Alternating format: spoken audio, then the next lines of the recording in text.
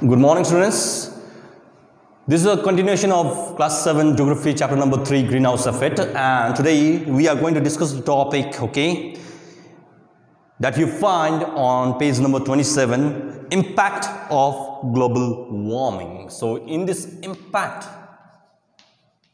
of global warming g l o b a l global warming you find many factors there okay so whenever we are talking about impact, the result of global warming, there are many factors there. The first one is climate change.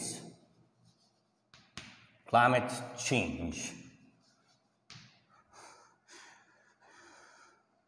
So what is climate change? It is it means the variation in the prevailing condition of the climate but not the weather okay? Weather and climate are different. So what is the meaning of climate change? Climate change means a change that okay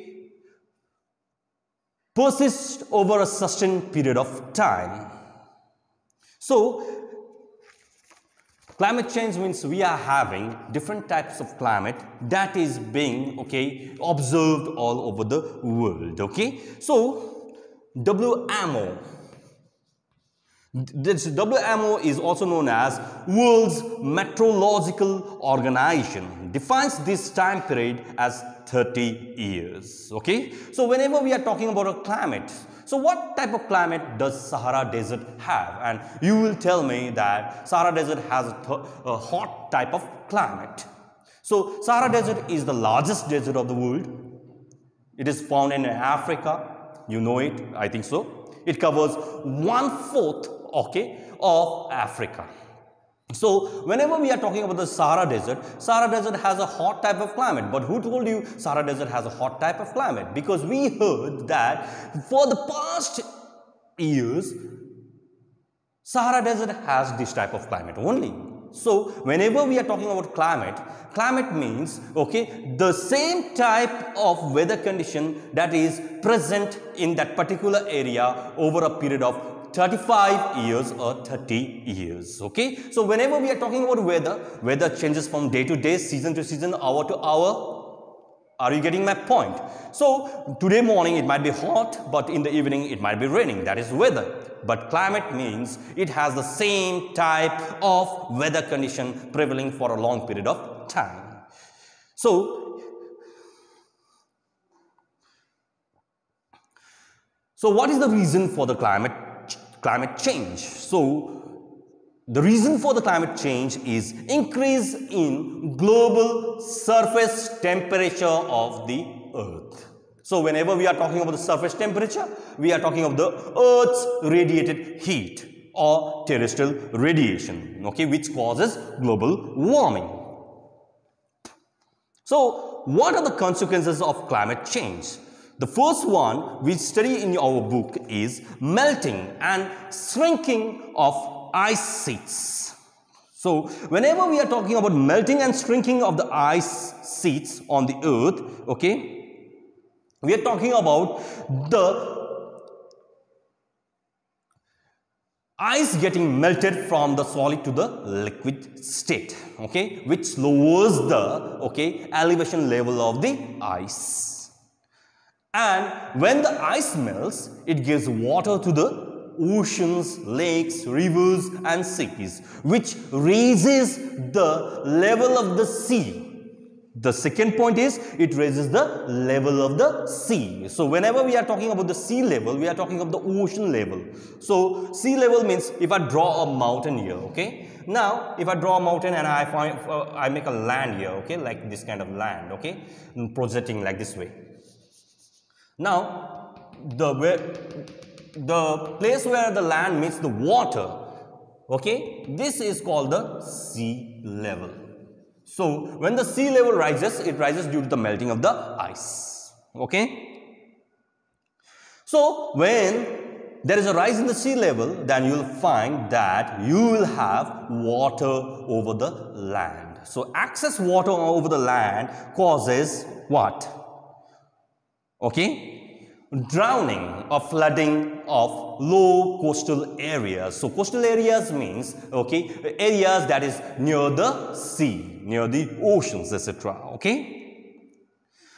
Now, whenever we are talking about this climate change, okay, this climate change also okay, has a change in the rainfall pattern all over the world, okay which basically also leads to flood. Flood means excess water on the land and droughts means okay shortage of water that is rainfall over, uh, over a part of the land in the world.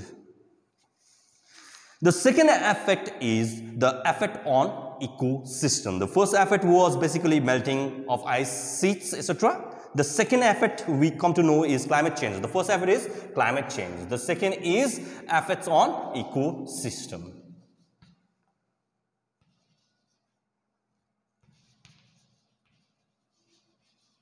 So whenever we are talking about ecosystem, okay,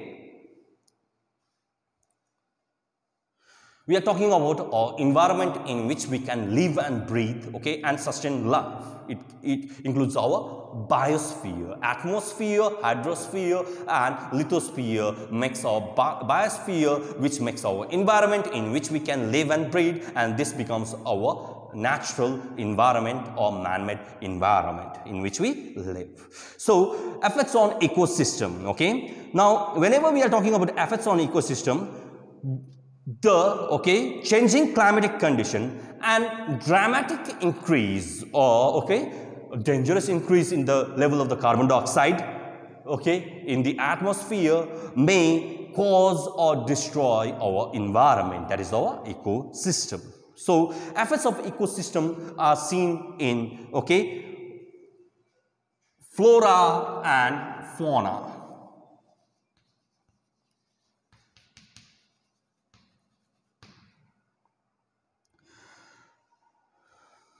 Now, whenever we are talking about flora and fauna, okay, we are talking about plants and animal species, okay. In cold areas, will not be able to, okay, resist or what we call, okay, will be able to bear warm, warm temperatures. They will not be able to sustain warm temperature. If it becomes too hot, then it will be unbearable for them, the animals and plants which are living in the cold, cold areas. So what happens? The result? We have species lost so we have some of the animals which are becoming extinct due to high temperatures and even plants which cannot bear high temperatures or warm temperatures. And this endangers, okay, the species. So species loss and endangerment is rising along with global temperature. So when the global temperature rises, we might fear that, okay, some of the plants will not be there in the future. Some of the animals will not be there in the future because they might become extinct. This may lead to extinction of various species due to loss of habitat because the environment has been changed. So that is called an habitat. Habitat means the surrounding in which they can nurture, in which they can live and breathe that environment which changes due to the rise in global temperature then will have loss of species. Desertification also. The climate change may also lead to desertification also because to if the area becomes warmer and warmer you'll find the plants will die and if the plants die then that area would be converted in a desert okay and also deforestation of the trees. Now deforestation of the trees due to what? Due to not only human activity but due to the temperature of our earth also. Okay.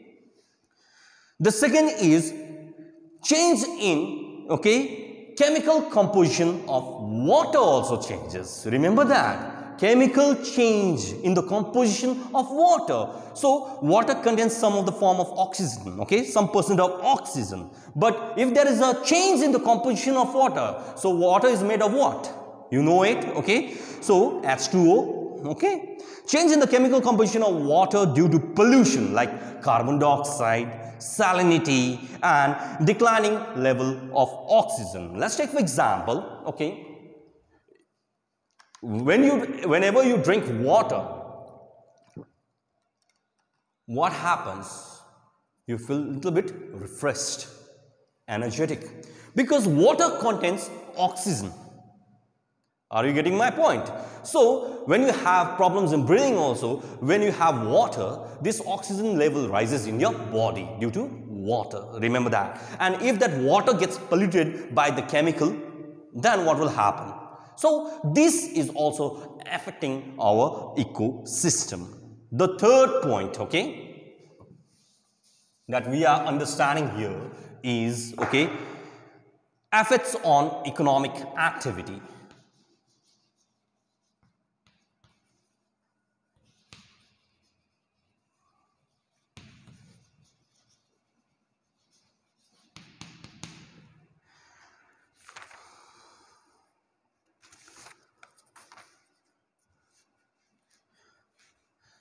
So whenever we are talking about effects on economic activity, we are talking about tourism, okay, international trade due to uncertain environmental factors. So environment change also brings, okay, mm, okay, change in the weather condition. So if it is raining outside, do you want to go to bazaar?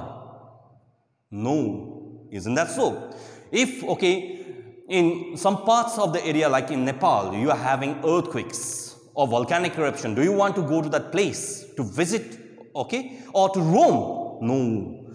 So, this climate change also brings some, okay, changes in the weather pattern, changes in the climatic condition as well as natural phenomena, okay. So, tourism and international trade will also be affected by these environmental, okay, factors. So in effects on ecosystem, okay, after effects on ecosystem, we are studying epidemics. Now the fourth point is epidemics, okay. So what is an epidemic?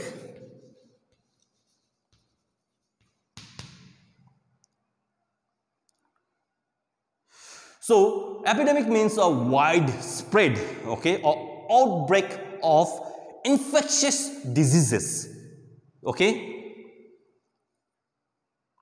in a community or in a population is known as epidemic. Okay? So, epidemic increases temperature. Yeah, so, so sorry. Increased temperature on the earth creates ideal condition for breeding of viruses, diseases as well as bacteria which are the major concern for spread of diseases and epidemics. Today we have, have pandemic like corona. This is spreading due to environmental factors also. Remember that. So, environmental factor is global warming. So, some of there are rumors that during a hot weather, uh, due to the hot weather, the coronavirus basically spreads rapidly. But I don't know for sure, okay, it spreads or not but some of the environmental factors plays a vital role in spreading the viruses and bacteria or infectious diseases all over the world okay?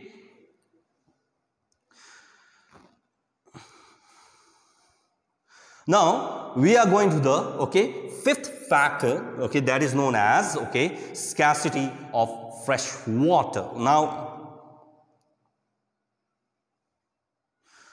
Due to the rise in the temperature, what happens was, what happens is, actually during the daytime, the sun hits both land and water.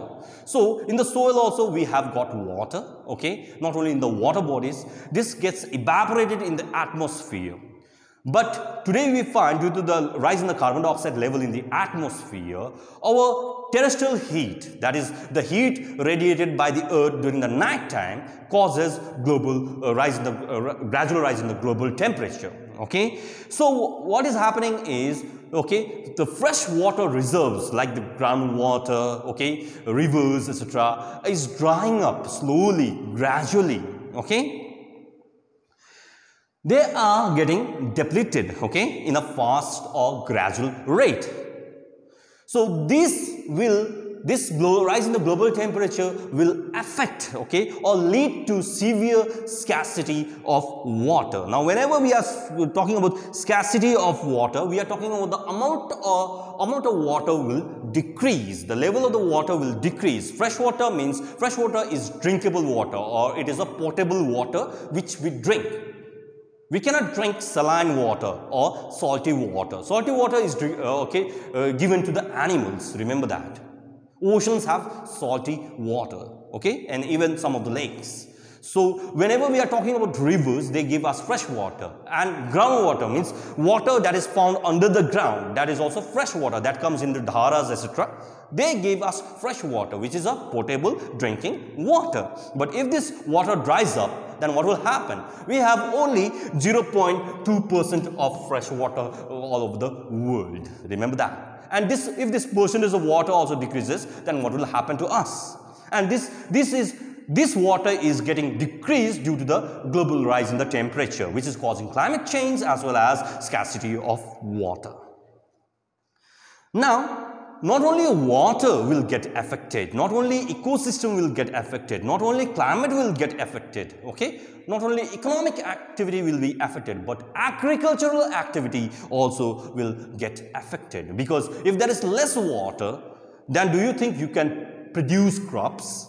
So, decreasing the water level also decreases the cropping pattern all over the world. You cannot grow crops in the same season because there is no water, there is no rainfall. So this also hampers our agricultural activities. So the rate at which the crops can grow due to the fertility of the soil also declines because in the soil you don't have water. So the rate at which the crop is growing also declines. Remember that. So this much for today. Thank you for listening. Hope you find this lesson useful.